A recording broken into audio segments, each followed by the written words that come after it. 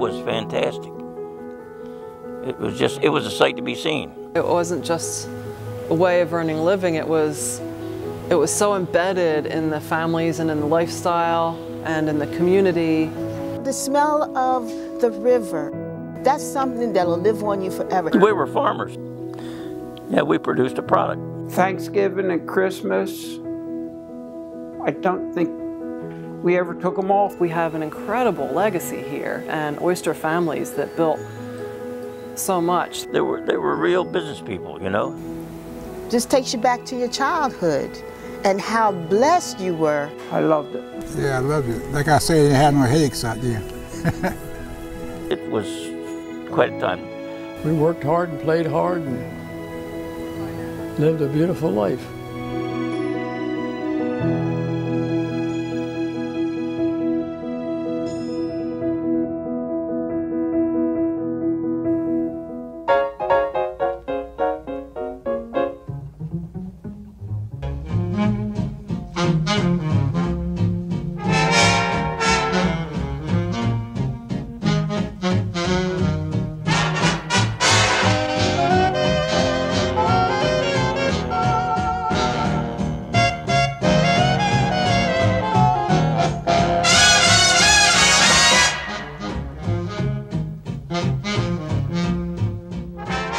What's interesting, I guess, in historical perspective, is um, how folks in the Delaware Bay decided to embrace oyster planting and, and embrace it uh, as enthusiastically as they did. Spring bay season, bringing them down, planting them, and then in the wintertime, uh, dredging them up and, and selling them. So you had to catch it twice to sell it once. You uh, went up the bay May and June. Uh, you overhauled your boats over the summer and beginning September, people start to harvest. Similar to farming, you uh, hope for the best, but it doesn't uh, turn out that way a lot of times. We dredged off the natural beds for the seed and planted it on our own bottom, and then in the wintertime dredged off of our own bottom.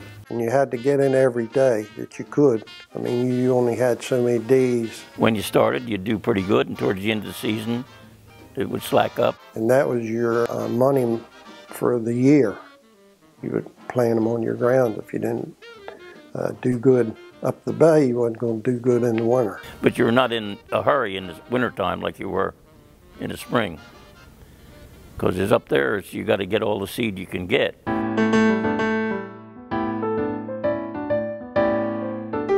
Our crews, they come up from Maryland. When Dad needed a crew, he would send the word out down there and he would hire as many Eastern shoremen as he could. Because they were good oystermen, they were tongers, they all knew how to handle oysters. They would come here and they would stay here, like you say, the whole week. Stay, stay on the boat overnight, every night, and eat on the boat. They came here to work. They wouldn't go back every week. They would send their money home and they would stay for months at a time separate the shells from the oysters was a primary job. Two, six, E. Their secondary job was to handle the sails and reef when the captain wanted them reefed. They used to ring a bell. You'd heave one ding, you'd heave the lee, I think, and two dings, you'd heave the, the winter dredge. So I tell people I'm a farmer, and I plow all the time, but I can't see my plow. it's really almost like choreography to know how long to leave the dredge in, when to start the next one. Yeah, there is a little finesse to it. I mean, you're turning, the time you want to wind, it's, it's up here, it's just, it's just there. You, you get a feel for it. I'm guessing, but I would say you ought to be moving about a walk to dredge. And that's the way they controlled the speed when they were dredging. They, if they were going too fast, you took a reef. And if you weren't going fast enough, you'd let it shake it out. Coming up of the dredge over the side is the time when the people have to start getting engaged and, and manhandling it. Two, two guys on each side of the dredge. We'll taking and dump it. Then we get down on our knees and had the wide baskets and we'll pick them up, put them in the basket. There's a moment where you kind of have a sense of whether it's a good haul or whether it's mostly shell. And some would be single. Then some would be all hooked together. Then you had to use a hammer to knock them loose before you put them in the basket. An oyster boat to be satisfactory had to be shallow because of operating around Delaware Bay. You know, to get in and out of Maurice River, if you were over six feet, you were too deep. They had to have a lot of deck space because you carried your oysters on deck.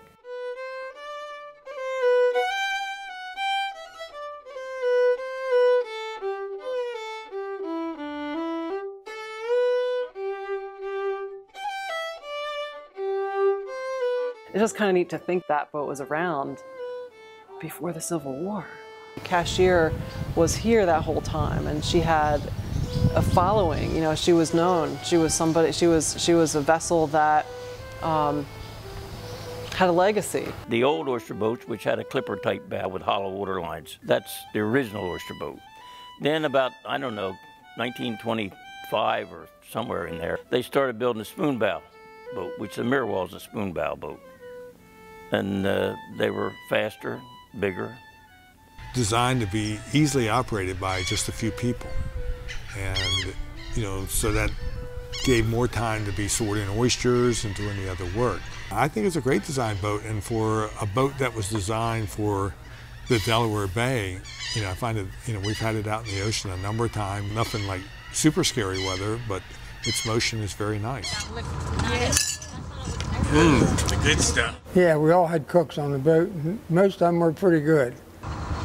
The cook was a valuable man. You had eggs for breakfast every morning, and a, a thing that I've never had since that we always had on the boat in, for breakfast was fried bologna. Fried bologna sandwiches. They were hot. They always had fried bologna. Baked beans with the hot dog, fried chicken with the fried pork chop. One of the good things was the skipper always ate first.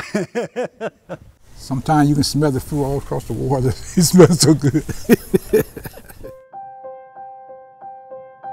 I uh, always hated the fog and uh, winter time when the decks got iced up.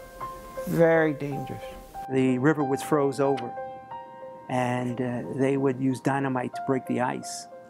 And then even after they broke the ice, uh, one boat would uh, have to cut through to make the path because there were so large chunks. So we had to have the oysters for Christmas. And uh, I went out there by myself. Should have known better. And uh, I stepped down on the deck, boy, I took one and uh, broke my arm out there. But I got the oysters.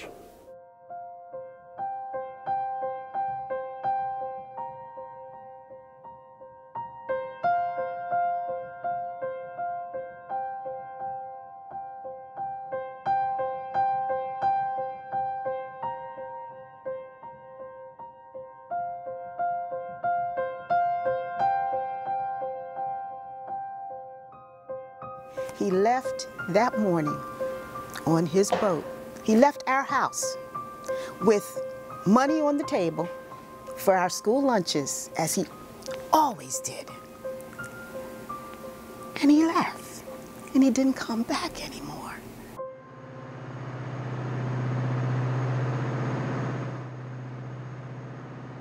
Things started to change during the Second World War. The biggest change was to change from sail to power. No question about that.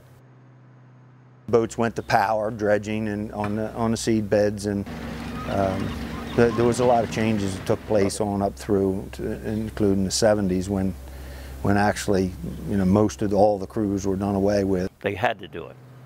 You just couldn't get people to handle sailboats and do the things that had to be done to make them go.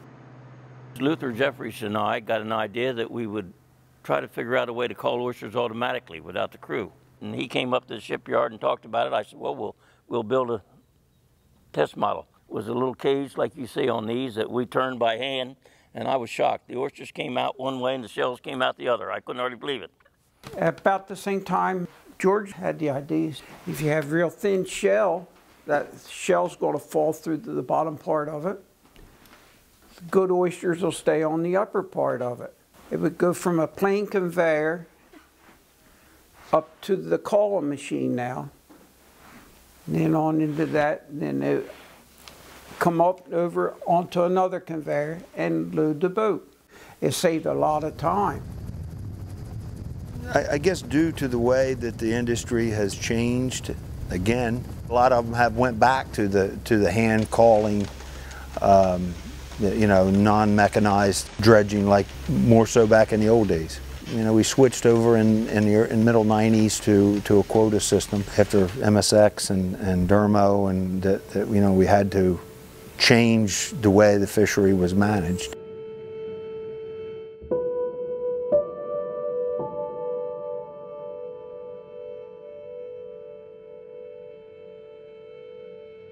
Nineteen fifty-seven and then 58 and 59 were very, very high mortality years. They lost up to 90% of the oysters down in the lease beds and up to 50 to 70% on the seed beds, which are now where the fishery operates.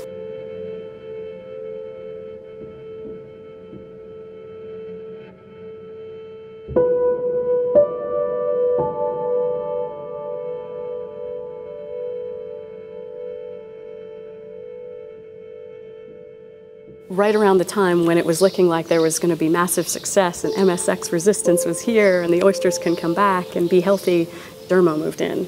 Um, and it's this other disease. It's very similar in that it's a single celled parasitic organism that kills oysters, but it's different in the sense that the oysters, for some reason, are not becoming resistant.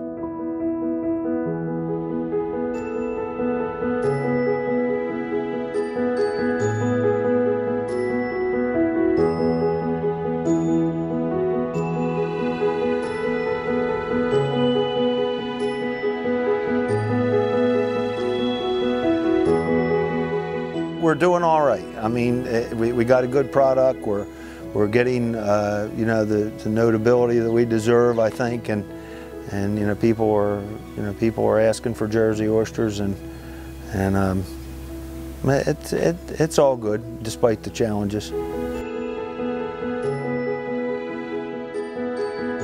I think it's important not just nostalgically to look back and say how it was, but in order to take care of and preserve and be good stewards of what's here today, it really helps to recognize the history and to be respectful of the things that were in the past. The history of what's gone on and, and the ability for me as an ecologist to be able to touch back to that history is invaluable. Hoping that people, you know, get out in the water and see the beauty of being out there and, you know, connect to our area. Maybe take that drive down to Bivalve and uh, come and visit.